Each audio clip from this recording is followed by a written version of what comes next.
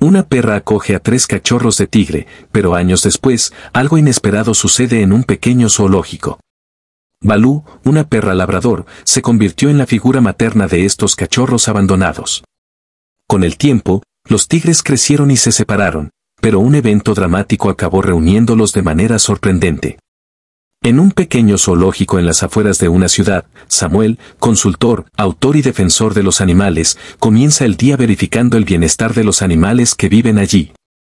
Su pasión por los animales va más allá de su trabajo, es una vocación que lo impulsa a garantizar que cada criatura se sienta en casa. Hace algunos años, Samuel rescató a Balú, una cachorra de labrador encontrada en una carretera desierta.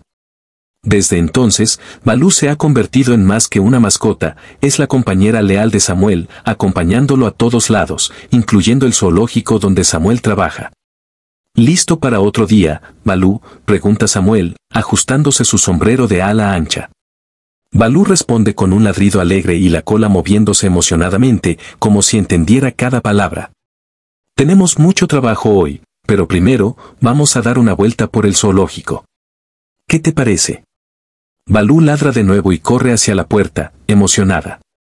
Esa mañana, ni Samuel ni Balú podían prever la increíble historia que estaba a punto de suceder, una historia que los conectaría aún más a los otros residentes del zoológico de una manera inimaginable. Samuel estaba en su oficina revisando informes sobre los animales cuando su teléfono suena. Es una llamada de un refugio de animales cercano. Samuel, tenemos una emergencia. Tres cachorros de tigre han sido abandonados. ¿Podrías acomodarlos en el zoológico?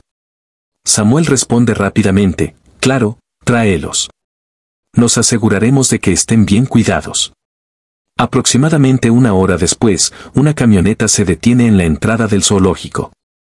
Samuel y algunos cuidadores se apresuran para recibir a los cachorros, con Balú siguiendo a Samuel de cerca. Cuando la puerta trasera de la camioneta se abre, revelan tres pequeños tigres hermosos.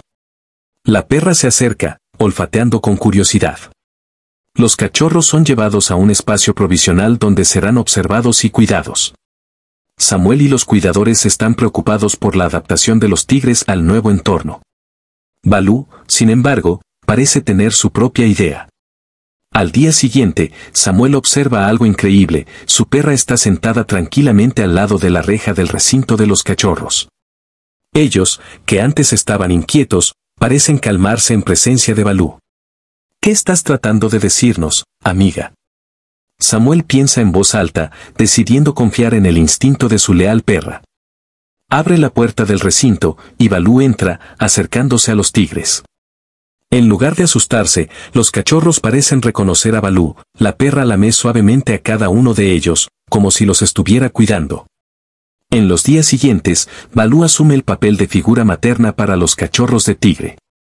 Los acompaña durante las comidas, juega con ellos e incluso les enseña a comportarse en el zoológico, como si fueran sus propios cachorros.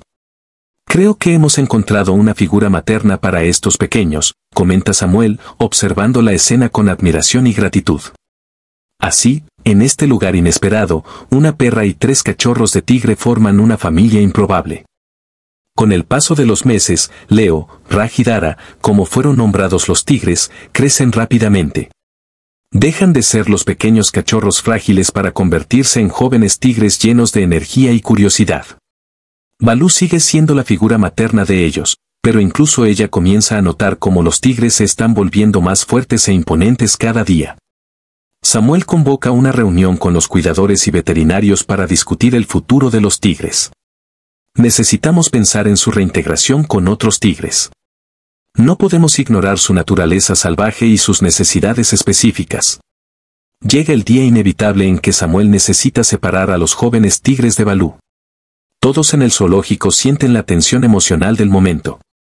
La perra parece entender que algo importante está a punto de suceder. Samuel abre la puerta del recinto de los tigres y llama a Balú, vamos, amiga, es hora de despedirnos. Balú se acerca a cada uno de los tigres, olfateándolos y dándoles una última lamida en la cabeza. Los tigres ronronean y frotan la cabeza contra su madre, como si se estuvieran despidiendo. Los primeros días después de la separación son difíciles para todos. Balú vaga inquieta, como si estuviera buscando algo o a alguien, deteniéndose frecuentemente cerca del nuevo recinto de los tigres, olfateando el aire y emitiendo ladridos suaves. Por otro lado, Leo, Raj y Dara también muestran signos de inquietud. Aunque interactúan con otros tigres, parece que algo les falta. Con el tiempo, tanto la perra como los jóvenes tigres comienzan a adaptarse a sus nuevas vidas. Balú retoma su papel como embajadora del zoológico, mientras los tigres aprenden a socializar con otros de su especie. Un día, la noticia de un tifón inminente acercándose a la ciudad pone a todos en alerta. El zoológico entra en modo de emergencia, con Samuel y los cuidadores trabajando contra reloj para asegurar los recintos y preparar a los animales para el evento climático extremo. Cuando el tifón llega, el zoológico se transforma en una zona de turbulencia, árboles caídos, escombros volando y fallos eléctricos crean un ambiente de pánico y confusión. En medio de todo esto, Balú, asustada y desorientada, termina entrando en el recinto de los tigres adultos. Los tigres, también agitados por la tormenta, ven a Balú como una presencia extraña y se preparan para atacar.